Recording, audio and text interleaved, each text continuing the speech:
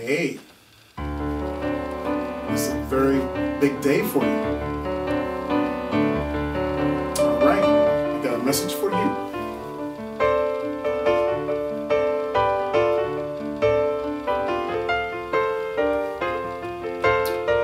On this 30th day